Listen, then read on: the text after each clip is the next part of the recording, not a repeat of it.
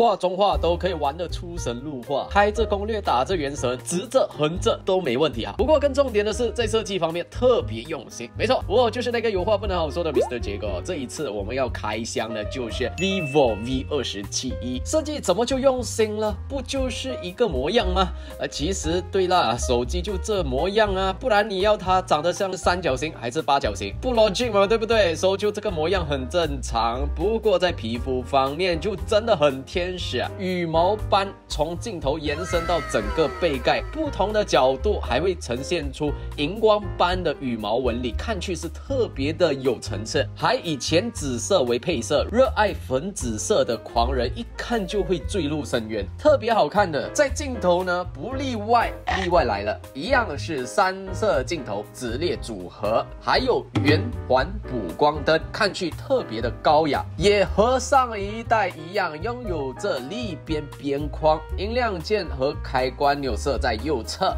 左侧和上方长得就特别干净，下方则是新卡槽、扬声器，还有 USB-C 接口，新卡支持 Hybrid SIM，4G 双卡双待，也能兼容 SD 卡。再来就是手机的灵魂，屏幕。搭载了一副平面屏，六点六二寸中心打孔全屏幕，屏幕的材质为 AMOLED Full HD Plus，分辨率还拥有着对称式的三边框，就差下巴有点高，拥有着一百二十赫兹高刷，日常刷手机画面更流畅，就差它的单扬声器没有对称声音，不过声量绝对大声。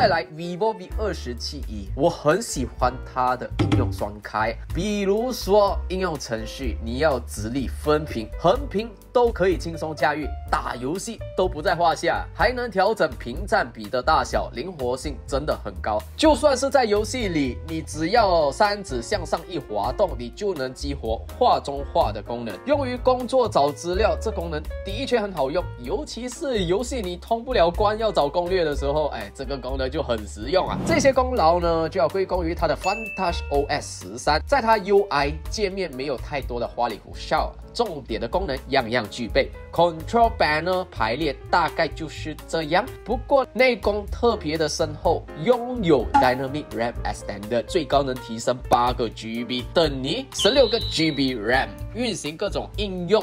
更加流畅，还有一些游戏方面的优化，就比如 Ultra Game Mode 电竞模式，下载的游戏可以到设置里面打开，可能说 eSport 模式、四 D 震感这些都能分开激活，灵活性也特别的好哈。它不会区分这个游戏是来自于中国或海外，只要它是手游，它是应用程序，就能添加进 Ultra Game 里面。所以在游戏体验呢，并不会因为它的处理器的等级而被影响。打击的跟手性、敏感度、帧率、延迟率表现都很有水准，尤其是 Mobile Game 王者这类型的游戏，在游戏配置二三字，再配合 Multi Turbo Boost 的模式，性能拉满，游戏的体验大幅度提升。在和平可开启一四三三，触控跟手性是有的，就差超触控分辨率弱了一点。开进微拖动射击的时候，那个挪动的间隙幅度有点大。不过去到原神，哎，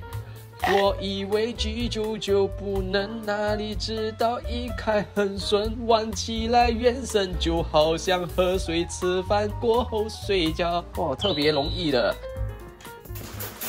我以为会很卡，那也知道，哎，还不错哦，整体的表现还算顺畅的。但你真要性能非常的的拱的话，我会建议你可以入手 vivo 更高端一些，比如说最近刚刚推出的 vivo X 九十，随便论一下都是非这区的，所以这个是属于中端机型哈，我们就不可以拿来做对比啦。在续航啊，挺给力哦，四千六百毫安，玩原神平均都能维持三到四小时，和平王者都能去到。五到六个小时，呃，续航算是挺不错。充电方面还支持六十六瓦闪充，零至五十趴先只需十九分钟。去到相机，vivo 的强项嘛，六十四 MP 主摄镜头，拍摄的风格 contrast 比较高，色彩偏深。有点带红，拍人像的时候看去特别的血气方刚，中气十足。在人像虚化方面，只要光线充足，一二米的距离，抠图特别的完整，虚化特自然，看去特别有层次。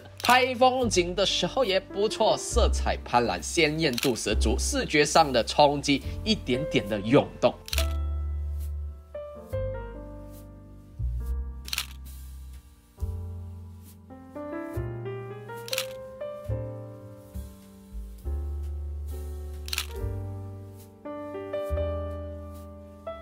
在自拍方面，嘿嘿，三十二 MP 还带光焦效果，哎，说拍摄的时候会会帮你拉长一点点，而且还非常的自然，不会特别刻意。美颜方面，啱啱不会太搞。如果你要更搞一点，你也可以自己进去搞搞一下。目前这一台 vivo V 二十七。一在大码只有一个配置，八加二五六，落地价为一千两百九十九。如果说你觉得这个设计有点太过成熟，不喜欢太过细方形啊，当然你也可以去看 V 二十七，它是采用一个双曲屏幕，手感方面更加圆滑哈。不过那个我就没有评测啦，毕竟二十七跟二十七一它们之间的配置差距并不大，所以你看这一期视频呢，跟看二十七是差不多一样的感觉啦。好，所以今天的视频就到这里先了。还有什么要说的吗？